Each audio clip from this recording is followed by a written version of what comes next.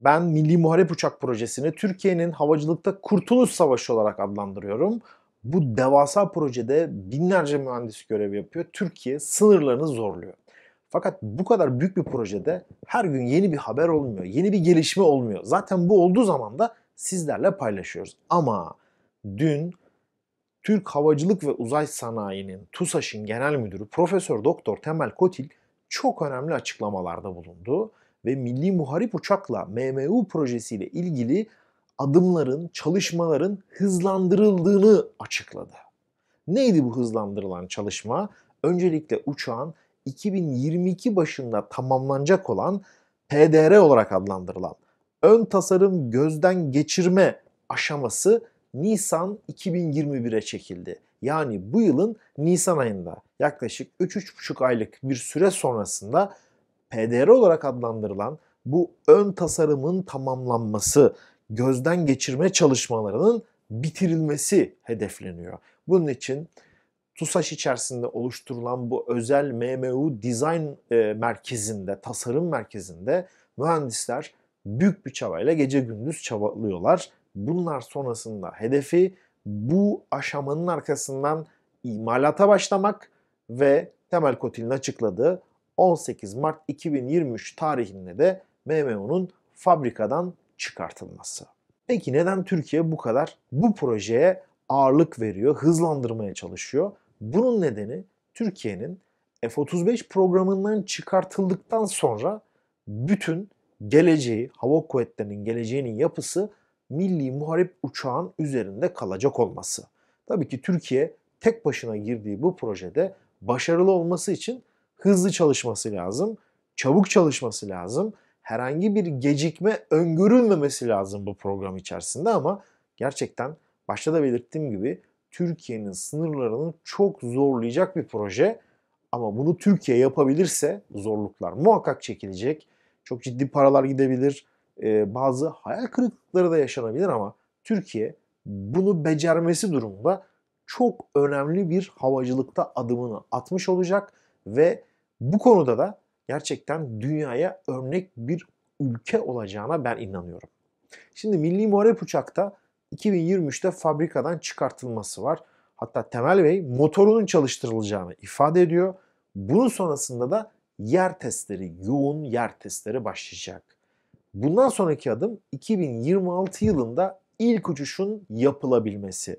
Toplam 4 yıllık bir süre ayrılmış ilk uçuş için ve bu 4 yıllık sürede tüm testlerin tamamlanmasının arkasından da 2030'da Milli Muharip Uçak Türk Hava Kuvvetleri envanterine girmeye başlayacak. Benim görüşüm eğer bu 2030 hedefi gerçekleşebilirse istenilen niteliklerde tabii ki çok önemli bir Türk havacılık ve uzay sanayi ve Türk savunma sektörü açısından çok önemli bir adımın atılacağı yönünde. MMO ile ilgili bize gelen bir başka soru ise İngiltere'nin projedeki varlığı. Malum Türkiye 2017 yılında e, İngilizlerin en büyük savunma şirketi BAE Systems'la bir anlaşma yaptı. Bir mühendislik destek anlaşması. Bu anlaşmanın imzalandığı dönemdeki değeri 100 milyon pound. Yani çok ciddi bir mühendislik desteğini İngiltere'den alıyoruz. Peki neden İngiltere seçildi? TUSAŞ ve Savunma Sanayi Başkanlığı bu konudaki çalışmalarına bir ihale açtılar. İhalede sonuçta ses üstü sürate sahip stealth yani radara az görünür 5. nesil bir uçak için Türkiye uğraşıyor. Bu özellikleri yakalayabilecek teknoloji ve mühendislik altyapısı Türkiye'de yok. Peki kimden alacaksınız bunu? Benzer uçaklar yapabilmiş bu teknolojiye sahip bazı ülkelerin kapısını çalacaksınız. Türkiye o dönemde Amerika bu işe soğuk baktı. Ee, ben sana dedi ben mühendisliğimi paylaşmam. Ben ancak sana mevcut bir sistemi satarım yaklaşımı üzerine Amerika bu e, değerlendirmeden çıkartıldı. Sonuçta Türkiye'nin elinde Avrupalı şirketler kalmıştı. Airbus'un oluşturduğu konsorsiyum Almanya üzerinden, Saab İsveç üzerinden ve de İngiltere'de BAE Systems üzerinden teklif verdi. İsveç malum Türkiye'ne yaklaşık 30 küsür yıldır bölücü terör örgütü PKK nedeniyle bir ambargo uyguluyor. Bir yandan da tabii şimdi videoları hep e, hazırladığımız zaman altına gelen yorumların başında da Tolga abi niye Saab almıyoruz biz Türkiye? Adam işte ambargo uyguluyor. Ve birçok sistemi de Saab uçaklarının işte motor, aviyonik gibi çok önemli sistemleri de Amerikan kaynaklı. Ambargonun uygulandığı bir yerde bunları ileri götürmek çok zor. Saab elendi. Almanya tarafında Alman Airbus, Almanya merkezli ağırlıklı Eurofighter teknolojisinin olduğu Airbus ve de BAE Systems rekabet içerisine girdi. BAE'de hem Eurofighter teknolojisi var. Daha eskiye gidersek Tornado teknolojisi var. Ve sonrasında da F-35 çalışmalarında da Amerika'nın BAE Systems, Lockheed Martin'in çok önemli bir ortağıydı. Yani hem 5. nesil savaş uçağı projesinde çalışmış 4 Plus 4 artı olarak adlandıracağımız Eurofighter'ın tasarım ekibinde yer almış birçok teknoloji var BAE Systems'da. Rekabet ettirildi ve sonuçta Türkiye'nin tercihi BAE Systems yönünde oldu. Halen Ankara'da BAE Systems'ın İngiltere'den getirdiği mühendisler çeşitli işte hesaplamalar, mühendislik sorunların aşılması için destek veriyor. Bu tamamen karşılıklı bir kazan kazan teknolojisi. Nedir? Türkiye sonuçta parasını alıyor. BAE Systems 100 milyon pound gibi çok ciddi bir para mühendislik hizmet açısından. Çünkü burada görev yapacak mühendis sayısı, ne kadar saat çalışacak, hangi problemleri çözecek gibi çok detaylı bir kontrat yapılmış durumda. Karşılığında da BAE Systems hem mühendislerine iş bulmuş oluyor hem de e, buradan edinilecek yeni tecrübe. Çünkü MMU'da birçok araştırma yapılıyor. Yani MMU aslında işte F-22, F-35 eğer o teknoloji yakalanırsa 6. nesil uçağa geçiş için çok ara bir birim olacak. Yani en son BAE Systems bu konuda Avrupa'da Eurofighter yapmış. F-35'te çalışmış ama daha ikinci planda kalmış. Eurofighter'dan 6. nesil kendi uçakları Tempest için uğraşıyorlar ve Tempest'in iddiası 6. nesil uçak olacak. Bu ara geçişteki teknolojiyi de belki de milli muharip uçakla yakalayacak. Bu yüzden de mühendislik açısından önem veriyor. Tabii ki bildiği bütün her şeyi aktarmıyor. Bildiği bütün her şeyi vermiyor. 100 milyon poundluk bütçe içerisinde bu gerçekleştiriliyor. Ve daha çok da Türk mühendislerinin yaptığı çalışmaların kontrol edilmesi ve çok hassas hesaplamalarla tecrübesini ortaya koyarak sorunların çözülmesinde BAE Systems yardımcı oluyor. Bu projenin İngiltere açısından bir başka önemi de malum işte İngiltere'nin Avrupa Birliği'nden çıkış Brexit olarak adlandırılıyor. Bu durumda bölgede daha sağlam sırtını dayayabileceği müttefikler arıyor. Bu gerektiği zaman hem ekonomik büyük bir pazar hem teknoloji satabileceği hem de işbirliği yapabileceği ülkeler. İşte Türkiye onlar için önemli bir hedef.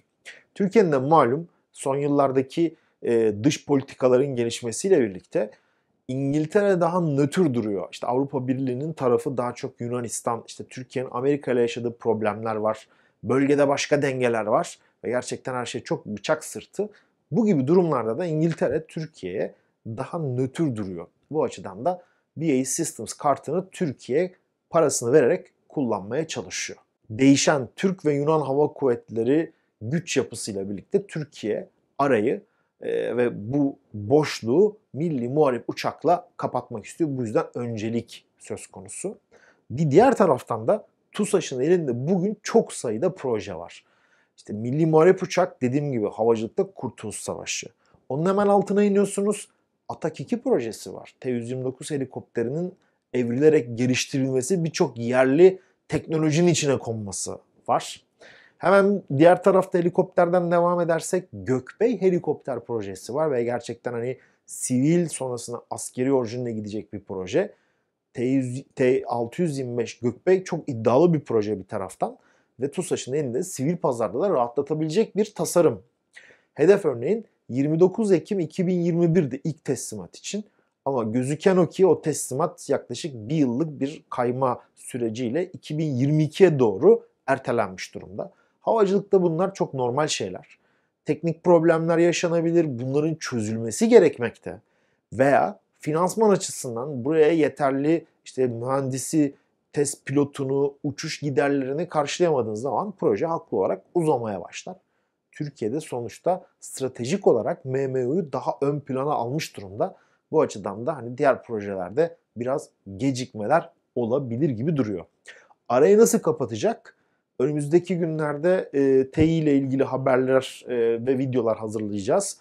Bu videolarda da detayını öğreneceksiniz ama Eskişehir'den gelen milli bir helikopter motorumuz, turboşaft motorumuz var.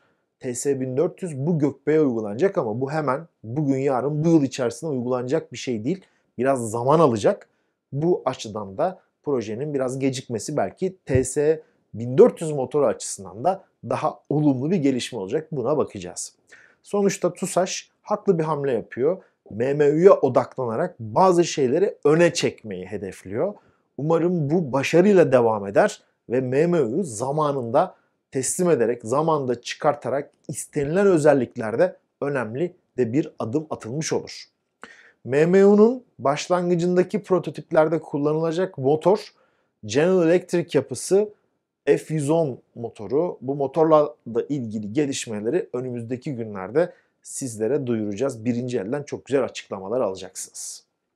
Bugünkü programda biraz MMU'ya baktık. TUSAŞ'ın stratejik hamlelerini e, birlikte görmeye çalıştık ve bu konuyla ilgili de yeni gelişmeleri size aktarmaya çalıştım, yorumlamaya çalıştım daha doğrusu.